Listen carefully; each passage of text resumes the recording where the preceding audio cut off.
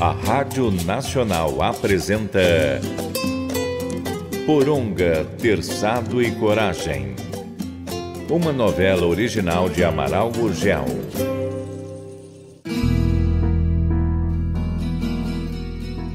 A floresta é um ambiente muito movimentado. Homens e animais se cruzam o tempo todo. Qual será a próxima armadilha do destino?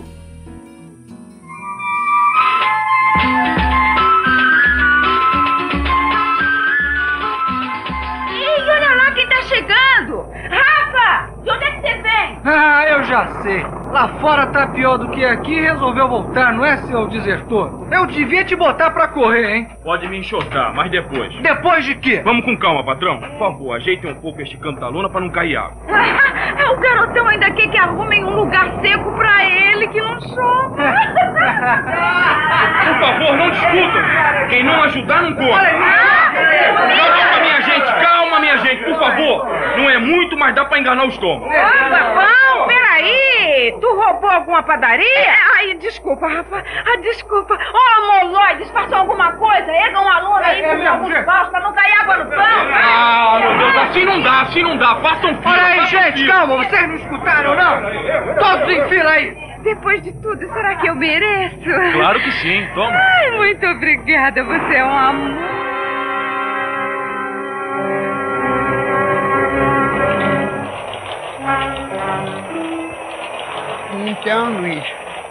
Gostou do bilhete? É, coisa de criança. Olha só, quer ver? Luiz, tive vontade de, de ir te, te falar. falar. Mas a mãe e o pai podiam pensar coisa em pé de leite. O que eu queria ir e te dizer é que eu fiquei aborrecida porque tu esteve aqui e não me chamou nem para dizer adeus. Será que tu não é mais meu amigo? Eu continuo sendo amiga e desejo que tu seja muito feliz na nova vida. Espero que um dia possa ir te ver no Tapiri. Um abraço da Isabel. Há tão pouco tempo estudando e até que tem uma letrinha boa. Obrigado. Por quê? Fui eu que escrevi. Ah. então isso é uma brincadeira tua, né, Mildinho? Ué, não, não, não, não, que eu não ia brincar com coisa séria. Né? Só quis dizer que ela foi falando o que queria, né? E eu escrevi nem. Hum. Depois ela assinou. A princesa. Como a menina iria rir se daqui a uns 20 anos pudesse ler isso? É, mas pera, pera, mas tu tá é. rasgando, é. Luiz. Claro, naturalmente. O que se diz, o vento leva. Mas o que se escreve, fica. Demorei um pouco porque não esperava que tu viesse, miudinho. Hum. Eu fui fritar mais uns peixinhos. Hum. Peixe e farinha é só o que nós temos hoje. Hoje, pra mim, tá muito bom, né? Cristo e os discípulos comiam peixe e pão. Mas tinha vinho também, né? tu não tem medo de um castigo, não, Sarege? Hum? Caçoando das coisas sérias? Ô, Zazeta, o que que é? Não tô caçoando, não. A senhora não sabia que os santos que acompanhavam o mestre tomavam vinho? Claro que sei. Na missa o padre fala na hora da comunhão, mas trata de comer antes que esfrie. Tá. Positiva, seu Luiz. Ah, muito obrigado. Hoje existem milhões de crianças morrendo por falta de alimento. É, isso mesmo. E vai haver ainda mais, que a gente que povoa o mundo está aumentando que não para mais. Por isso devemos abençoar o lavrador o homem da terra que planta a semente, que cuida para colher o milho, o feijão, que nos sustentam. Louvado seja. Louvado. Para sempre seja louvado. Agora que nós já forramos o estômago, conta pra gente, onde é que você arrumou esses pães? Conta. Eu comprei. Comprou? É? E onde foi que tu descolou o dinheiro para comprar? Eu tinha algum dinheiro para comer, alugar um lugar para dormir. Hum. Mas como eu ia poder comer sabendo que os companheiros estavam com fome? Então eu resolvi repartir, né? Você chegou hoje, nem sequer sabe o nome de todos, e mesmo assim trata a turma de companheiros e deixa de pegar um bom feijão para dar pão para nós. Meu pai é seringueiro, como meu avô foi. Eu nasci e me criei numa barraca de tábuas coberta de palha. E quem vive no mato aprende a socorrer um irmão que esteja necessitado. É assim mesmo como ele tá falando. A Rosa já viveu no seringal. Você é filha de seringueiro? Não, não. Meu marido é que foi seringueiro, né? Ah, bom, digo foi porque ele morreu, né? Eu sou viúva, tá entendendo? Viúva, só que o marido ainda está vivo, viu? Hum, tô falando do primeiro que eu enterrei, viu? Agora o outro. Ó, deixa isso pra lá, não se mete na minha vida. Ai, quer dizer que você já nos considera amigos, né? Quem não é meu inimigo é meu amigo. Hum, claro. E, e será que um garotão assim tão bom como você tem inimigos? E qual é o homem que não tem, dona? É. E não pense que eu sou bom, não. É, bem, minha gente, a chuva já passou. Vamos para o bar, tirar essas roupas molhadas e descansar, né? Amanhã é outro dia. É, e, e o Rafa, você acertou dele dormir aqui pra vigiar os aparelhos, mas agora isso aqui tá, tá parecendo um rio. Pode deixar, dona. Eu ajeito uma cobertura pra dormir.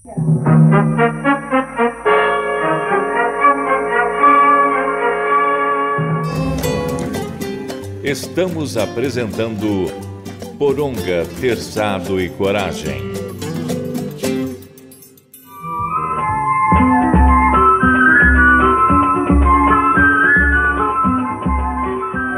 Não vai dar pra roçar, começar o tapirique, tá tudo encharcado. Mas se fizer só amanhã, já pode começar. Oi, gente, mas dá pra gente ver o lugar, né? Bom, isso dá. Escolher lá um bom lote. né? Dá, dá. E eu vou mais vocês. Sei que o Mildinho é bom mateiro, Oi. mais duas pessoas de ver melhor que uma, né? Mas espero que me expliquem, né? Para que eu aprenda. Eu sou chucro nisso tudo. Podemos ir. Peraí, mas sem um cafezinho, seu Chico? A Zefa já tá coando, que sem café ela não vai deixar a gente sair. É, olha, eu acho bom levar umas bananas, né? E um punhado de farinha, que sendo longe, a gente não sabe a que hora vai voltar, né? Pensei que a gente já fosse levar tudo que comprei. Não, que tu ainda não, não tem onde guardar e não vai querer perder essas coisas que custou tão caro, né? Aqui o café. Ô, Oba. beleza. Agora eu vou buscar as mandioca que fritei. Não, po- pode deixar, Zé, que eu faço isso. Cara, bom rapaz, o. Ai, a gente vai sentir muita falta dele. Ah, também ele não morreu, né? Vai ficar por aqui mesmo. Prontinho, a mandioca. Está quentinha. É, mandioca é uma planta abençoada, né? Quem será que descobriu, hein? É, Deus, que sabendo das necessidades do homem, encheu os rios de peixes e fez nascer a mandioca. E quem será que trouxe a mandioca pra nossa terra? Ah, peraí, não foi nenhum estranho, não, senhora Dante. Que isso o Manuel me contou. Os nossos índios, sabe, descobriram a mandioca. E os que vieram de fora aprenderam com eles a comer, a fazer farinha. E o Manuel me contou também que a mandioca é tão importante para nós que há muito tempo atrás foi proibida a exportação. Que se começasse a mandar nossa mandioca para as Europa, o preço aqui, ó, ia subir muito. Aí, se eu fosse governo, eu proibia também que mandasse pra fora o café, o feijão, o arroz. e não teríamos dinheiro para comprar coisas no estrangeiro. E como proibir a exportação se estamos comprando dos estrangeiros? Ah, Governar é como tomar conta de uma casa. Por isso que eu digo que deviam ponhar uma mulher tomando conta da gente. Um dia talvez chegamos lá. E hoje as mulheres já votam. E já existem mulheres nas prefeituras, na Câmara dos Deputados. Minha gente, pois vamos pôr a Zefa lá, mandando em tudo. Olha, olha que pode contar com meu voto, Sazefa. E, e o analfabeta que nem eu pode ser alguma coisa na vida, O miudinho? que que é? Ah, larga de dizer disparate. Ai, come. Como que vocês vão ter que remar e andar muito a pé? Falaste com o comandante, Pancho? Falei sim, ele concordou. Ai, então, que, que, que é que a gente tá esperando pra ir dar notícia ao Rafa? Se você quiser ir, Ah, eu quero sim. Assim, aproveito pra ver como é que tá tudo aquilo. E tava pensando, se a gente já Hum. tivesse espalhado serragem lá... mas não há tempo nem dinheiro para isso não, Esther. Hum. Vamos trabalhar no chão duro mesmo. Ah, ou no barro, né? Ah, bom, eu já vou indo. Pode ir, mas nada de graças com o moço, hein?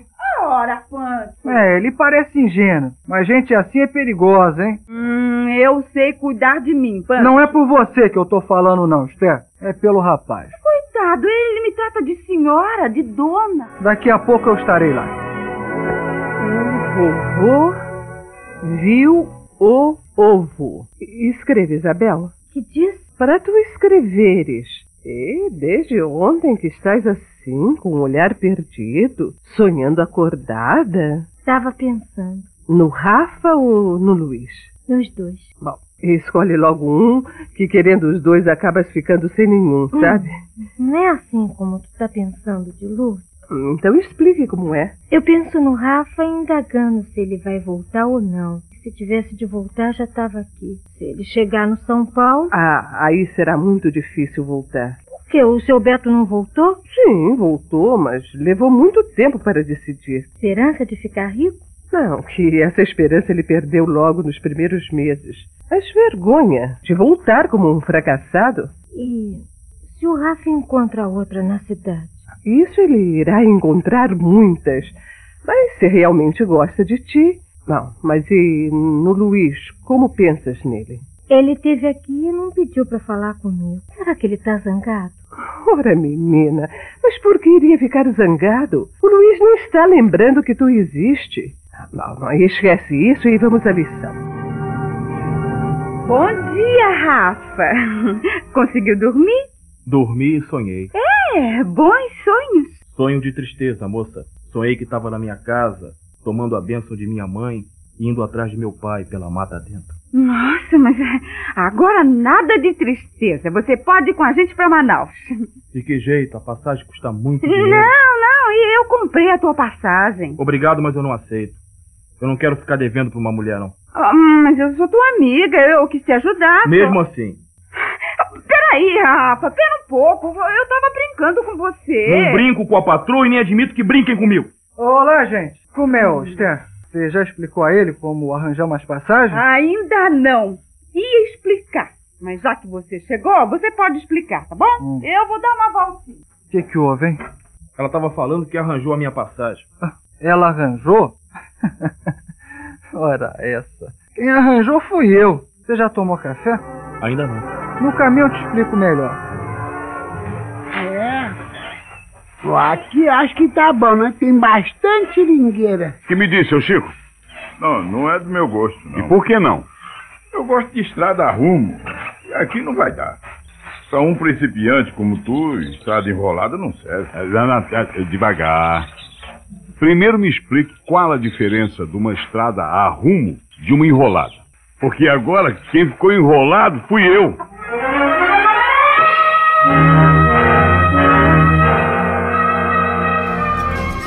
A história embaralhou os caminhos de nossos personagens. Qual será a próxima aventura? Tenha coragem.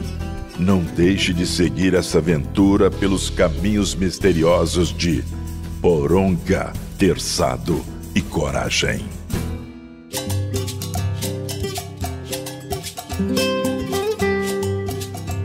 Rádio Nacional apresentou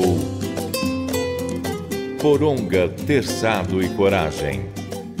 Uma novela original de Amaral Gurgel.